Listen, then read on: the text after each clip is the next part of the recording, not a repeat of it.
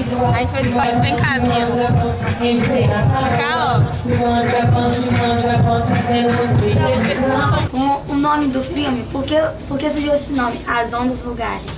As Horas Vulgares. É, as Horas Vulgares. É, vulgar é uma palavra que é, depois se tornou é, uma palavra negativa, de coisa, enfim, que não tem muito valor e tal, mas a origem da palavra significa aquilo que é corriqueiro, que é tão natural para você que você nem repara.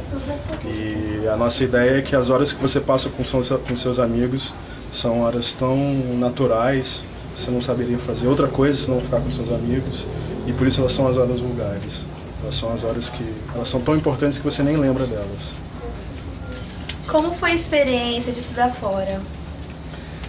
É, quando eu saí da UFES, não existia um curso de cinema em Vitória é, que pudesse, enfim, me, é, fazer com que eu continuasse aqui, terminasse, me formasse e ficasse aqui.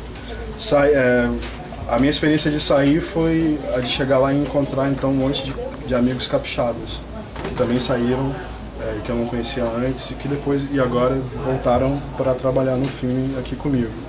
Então eu acho que esse esse êxodo começa a acabar agora porque existe um curso na UFES, existe um curso de um curso técnico em Vila Velha, tem esses, esse tipo de, de iniciativa de formação que está acontecendo aqui. Então eu acho que hoje talvez seja mais fácil para as pessoas estudarem cinema aqui e não precisarem sair. Mas sair é sempre horrível, sair é que você. Uma hora é sempre horrível. E, e talvez até por isso a gente sinta vontade de voltar.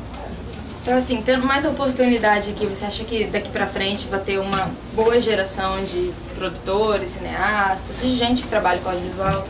Eu acho que essa geração já, já apareceu, assim. Elas já são pessoas que têm talvez um, um pouquinho mais de idade que vocês e que na minha época absolutamente não existiam, eram grupos muito específicos.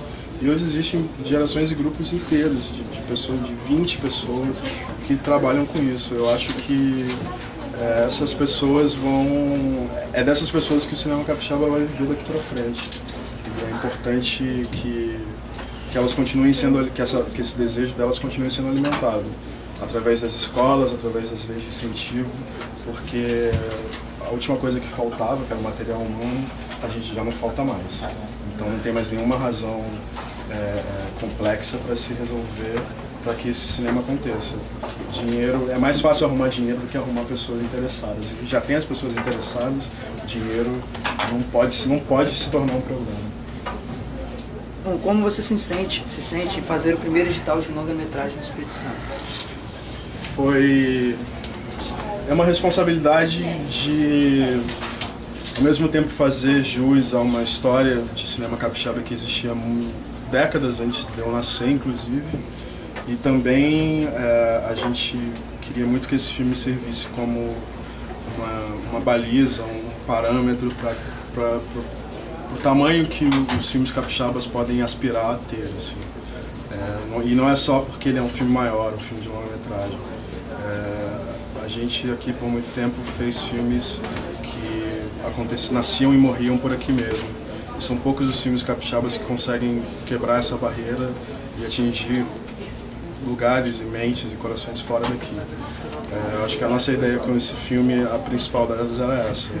É possível que um filme capixaba é, passe no mundo e converse com pessoas do mundo inteiro sem nunca perder o que ele tem de mais importante que é o fato de ser daqui, porque não existe nada parecido com o que é o Espírito. Então, você falou que é mais fácil arrumar dinheiro do que arrumar pessoas, né? Então a gente sabe que cinema é um, é um trabalho caro, assim, precisa de dinheiro.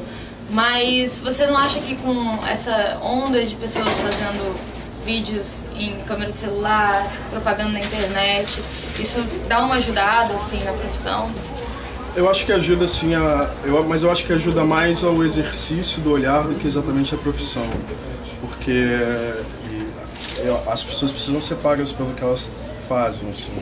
É, e eu acho que o que esses vídeos têm trazido é que você não ganha exatamente na produção, mas ganha naquilo que sempre foi o problema do cinema brasileiro, do audiovisual brasileiro, que é na hora de distribuir. Você tem canais de web TV que são patrocinados, tem é, é, maneiras de, de, de espalhar esse filme e ser reconhecido, inclusive financeiramente por ele.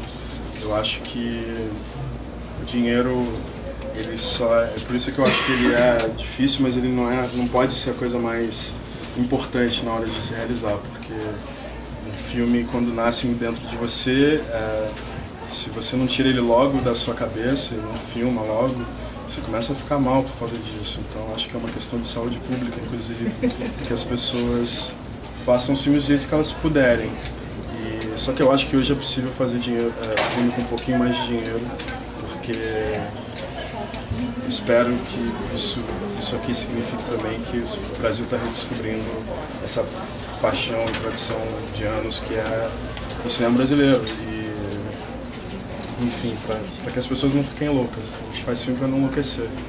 E eu espero que nós tenhamos menos loucos daqui para frente. E mais alguém? Ingrid? Como que você recebia do filme? Como? É, Bem, o filme vai ser exibido em formato digital, ele, vai, ele tem algumas sessões é, esporádicas de agora até o fim do ano, ele vai passar publicamente quatro vezes de agora até o final do ano. Depois ele segue por um circuito de festivais é, até o primeiro semestre a ideia é que ele seja lançado comercialmente nos cinemas no segundo semestre de 2012. 2012. E exatamente no mesmo momento em que a gente já vai poder circular com o filme é, de maneira muito mambeme pelo Estado para passar em situações como essa, em universidades, em faculdades. Isso era uma coisa que a gente é, apostava desde, desde o começo, desde a primeira, das primeiras conversas com a, com a Secult e que eu acho que tá muito, vai dar muito certo porque agora é, existe um, um, circuito, uma estrutura para isso. Então, eu, adoraria poder passar o filme inteiro aqui e, e não porque eu simplesmente quero passar o filme, porque acho que faria algum sentido aqui também. E isso é, é, pouco o caminho que o filme vai fazer daqui para frente. E, e, quais foram as maiores dificuldades de realizar o filme? O primeiro longa-metragem. É, eu, eu, eu, sempre acho que as maiores dificuldades elas têm que ser as artísticas, é, porque todas as questões de produção é, e, enfim, e as dificuldades de dinheiro, isso aparece no filme, está impresso no filme lá, que fica pronto, de maneira muito marginal. O que aparece com mais destaque naquele filme que está lá na tela são os problemas artísticos que você enfrentou. Então, para a gente, mais do que ter pouco dinheiro e uma estrutura muito grande, a maior dificuldade foi entender que filme era esse que a gente queria fazer. É, o menino lá perguntou sobre ideia, como é que você tem ideia e tal. E e eu acho que partir dessa ideia, que é uma ideia de vida, transformar ela numa ideia de cinema, uma ideia prática que se traduz em imagem, em vídeo, em imagem e som, é, esse sempre tem que ser o maior desafio. E, só que é o desafio mais prazeroso, porque é descobrir como, através de uma imagem, transmitir a sensação de um mundo inteiro. E que é isso, na verdade, a gente faz cinema para isso. Né? A gente rodou o filme em outubro e novembro do ano passado foram 31 dias, 31 dias de filmagem. E aí depois a gente editou o filme por dois meses, as imagens do filme, depois editou o som do filme mais dois meses. É, e ele fica pronto na semana que vem. Ah, lembrei. Para quem está começando no audiovisual, que dica que você dá? Qual caminho que é mais legal assim, de seguir para se inspirar aí numa carreira cinematográfica? É, eu acho que isso serve para qualquer arte, você não pode fazer cinema se você não gosta de ver filme.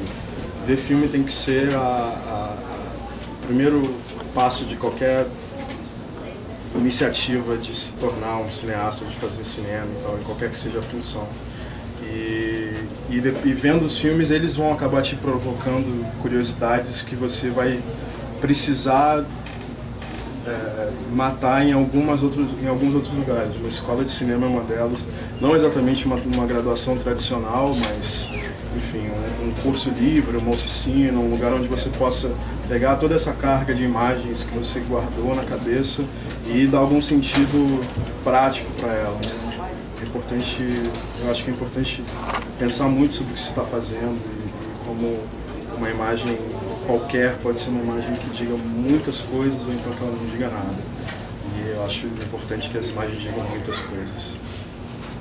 Bacana. Alguém tem mais? Não? Tá bom, Reidson? Então tá, então obrigado, Rodrigo. Obrigado. obrigado, obrigado.